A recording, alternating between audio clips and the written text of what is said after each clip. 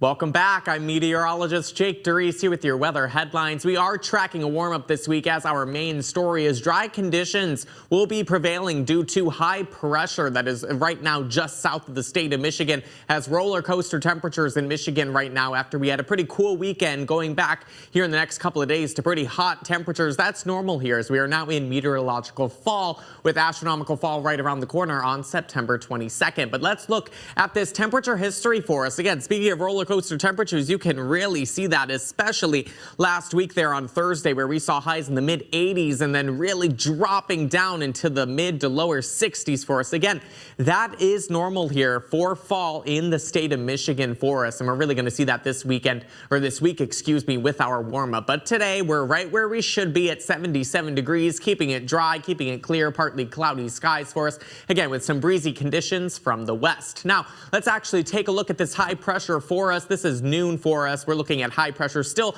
just to the south here, but again, we're going to start to see that track easterly for us, similar to what we saw last week. And as it tracks easterly, we're going to replace our flow with southerly flow, advecting in warmer, moist air into our neighborhoods, making it feel a bit hot and a bit summer-like for us going through the entire weekend. This is, the entire week, excuse me. This is Wednesday at 5 p.m. for us. So Lansing and Jackson tomorrow will be back in the 80s for us. Tomorrow, partly cloudy skies again, staying dry due to that high pressure, keeping it clear. 81 degrees for us again, and we're going to be getting even hotter as we continue on through the week for us. But again, looking at our satellite and radar, not much to show here. Looking clear and but just breezy today. By the time we reach Tuesday for us, we will see some fog in the morning for us, as well as some cloud cover, but staying dry. Now, here's that look at our Super 70 forecast to really look at the heat here. Again, normal for us today, tomorrow into the lower 80s, but look at Wednesday and Thursday, mid 80s with plentiful sunshine feeling much more like summer for us.